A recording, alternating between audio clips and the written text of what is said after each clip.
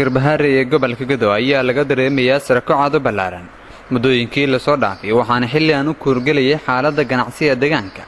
Soo booqday goobo badan oo ka mid ah goobaha ugu weyn degmada si aan wax uga ogaanno dhaqdhaqaaqa ganacsiga degmada garbaharey ganacsiga garbaharey ayaa inta badan ku tiirsan magaalooyinka.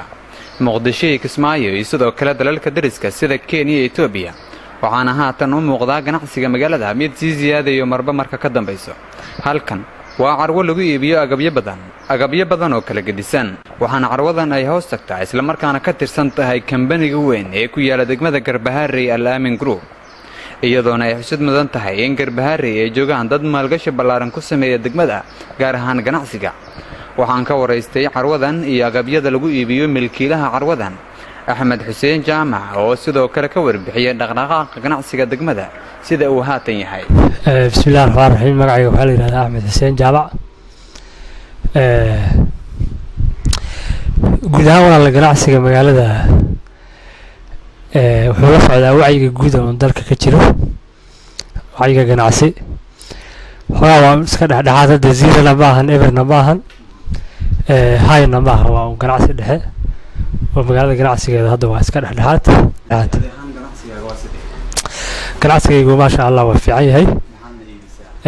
Adigu waxyaalahan iibina waxaa ka mid ah guud ahaan alaabta qalabka dhismaha nooc walboos yahay waan gadnaa waxaan kaloo gadnaa waxaa la yidhahda raashimaha waan gadnaa waxyaalahan hadda inta ka muuqdo dukaankan aan ku gadna laftooda ayaguna waa qayb bay ka yihiin oo costomatikiska iyo dharka iyo waxyaalahaasna waan gadnaa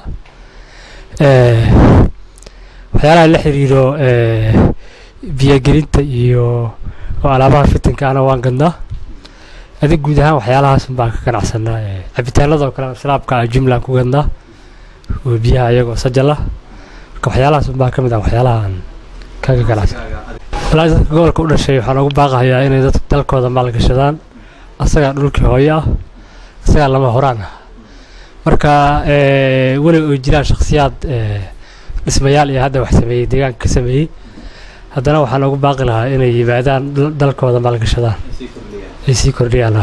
Goobtan ganacsi ee tawakal shoob waxayna ka mid tahay goobaha ganacsiga deegaanka. Sidoo kale lagu iibiyo agabyadan aad arkaysaan milkiilaha goobtan ganacsi cabdiweli ayaa dhankiisa iga warbixiyay sida uu hadda yahay ganacsiga magaalada garbaharey iyo goobtan waxyaabaha lagu iibiyo. Bismillahi raxmaan raxiim magacayga waxaa la yidhaahdaa cabdiweli turmaag. Waxaanan ka mid ahay dadweynaha degmada garbaharey gaar ahaan dadka ka ganacsada.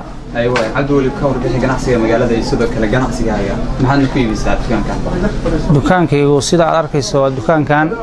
Waxaan ku iibiyaa qalabkan kuu muuqda sida elektroniga sida telefoonnada iyo raadayaasha iyo makiinadaha iyo waxyaabaha la midkaa waxaan kaloo ku iibnaa shoobin sida baraafuurnada kareemada saliidaha catarada iyo waxyaabaha la isku udgiyo o dhan.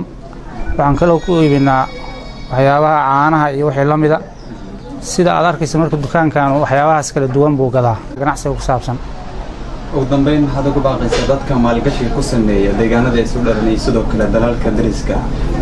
Maxaad ugu baaqaysaa qurbajoogta u dhalatay gobolkan waxaan ugu baaqahayaa dadka gobolkan u dhashay ama magaalooyin kale oo waddanka soomaaliya ka mid a ha joogeen oo ha maalgashadeen ama qurbaha ha joogeen. Waxaan ugu baaqayaa inay waddankooda yimaadaan magaaladooda yimaadaan maalgashadaan waxaan u sheegayaa magaaladu inay nabad tahay wax dhibaata aysan ka jirin maamul ay leedahay. Horumarka meel walba ka jira soomaaliya ama uu ka jiro ama ay u baahan tahay lana horumarsan karo. Ciddii maalgashatana ay faa'iido ka helayso. Saas daraaddeed waxaan leeyahay dadka u dhashay gobolka gado gaar ahaan degmada garbaharey soo dhowaada oo imaada waddankiinna oo maalgashada oo